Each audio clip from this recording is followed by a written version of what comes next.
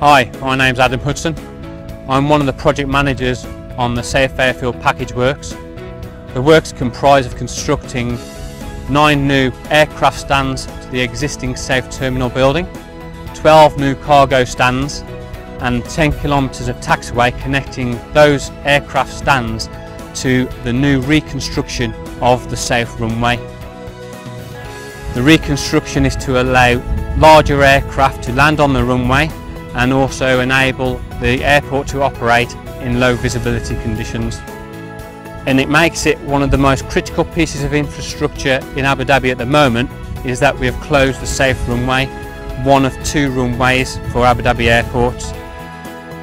The aircraft travel through our works to access the north runway Therefore, not only do we have to maintain the safety of our workforce on site, we have to ensure the full operational functionality of the north runway for Abu Dhabi and Etihad and also ensure the safety of the passengers travelling to and from Abu Dhabi.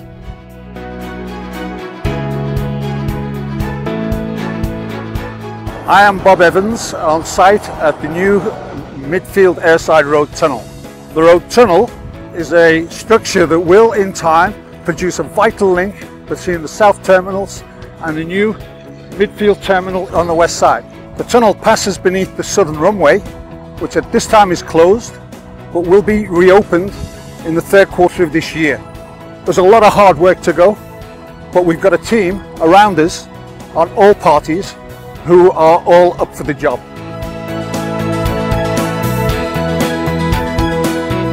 Hello, my name is Jason Campbell. I'm the Senior Construction Manager for Jacobs International, acting on behalf of Abu Dhabi Airports. This project and construction site where we are now is the construction of nine Cody hard stands or parking bays.